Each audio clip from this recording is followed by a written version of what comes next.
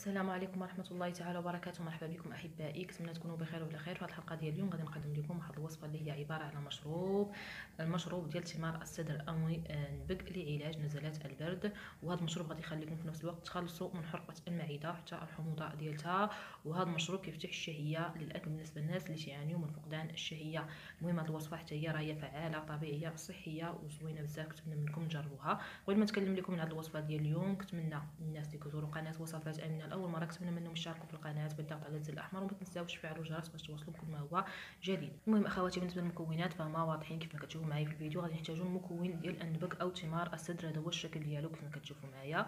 بالنسبة لطريقة التحضير أسهل ما يكون غادي تاخذوا 100 غرام من النبق غادي آه، تغسلوه مزيان غادي توضعوه في واحد الإناء يكون قابل للوضع على النار وغادي تصبوا عليه لتر من الماء وتوضعوا الكل على النار من مدة 5 حتى 6 دقائق تخليه يغلي مزيان. وملي تكونوا كتحضروا في هذه الوصفة هذه خاصكم تغطيوها الطنجره آه، بالغطاء ديالها باش هاد الثمار ديال السدر ما تفقدش الفوائد ديالها. وغادي تخليو هاد النبك يغلي مزيان في الماء حتى يطلق واحد اللون اللي هو داكن آه، بني غامق. ملي يبان لكم هاد اللون هكذا في المشروب آه، ديالكم. صافي عرفوا بلي الوصفة راها وجدات.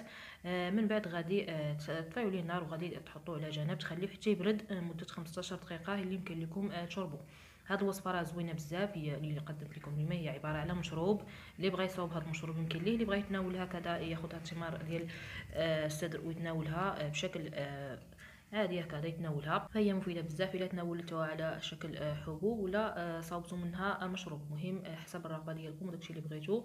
المهم هو راه هذا المشروب سهل في التحضير ديالو 100 غرام من هذا الثمار ديال الصدر. غادي تخليوها تغلي لمدة 5 حتى 6 دقائق. تخليوها تغلي في لتر من الماء. كما شفتوا معايا سهلة بزاف هذه الوصفة هذه زوينة بزاف. غادي تفتح لكم الشهية آه للأكل بالنسبة للأخوات والإخوان اللي عندهم فقدان الشهية. آه هذا الثمار ديال الصدريه غنية عن التعريف ومعروفه بالفوائد آه ديالها. المهم بالنسبة للناس اللي ما يقدروش يستعملوا هذه الوصفة هذه آه المرأة الحامل آه كنصحها تجنب بحال هاد آه بحال هاد الوصفات الطبيعية. الا بغات تناول شي شوية من هذا التمر ديال الصدر ليها. المهم خاصها غير تناول شوية ولا تجنبها كاع من الأحسن. فترة الحمل المرأة الحامل ديما كننصحها تجنب الوصفات الطبيعية أثناء فترة الحمل حتى الناس اللي عندهم مرض مزمن يتجنبوا بحال هاد الوصفات الطبيعية. وكاين شي ناس عندهم حساسيه من هذا المكون ديال النبك حتى هما ما يجربوش هذه الوصفة حتى يستشيروا مع الطبيب آه، ديالهم المهم أخواتي. هذه الوصفة اللي قدمت لكم اليوم هي عبارة على مشروب كنتمنى منكم تجربوه فهو فعال بزاف كيجي لذيذ بزاف وزوين بزاف. دابا غادي نتكلم لكم على الفوائد ديال آه، ثمار السدر آه، كيعطي الجسم الطاقه والحيويه والنشاط بحيث كيحتوي على السكريات كيحتوي عاوتاني على الكربوهيدرات. هذا الثمار ديال السدر أو النبك كتقوي المناعة بحيث كتحتوي على فيتامين الف وفيتامين ج وفيتامين فيتامين باء المركب. آه، كتقوي الدم.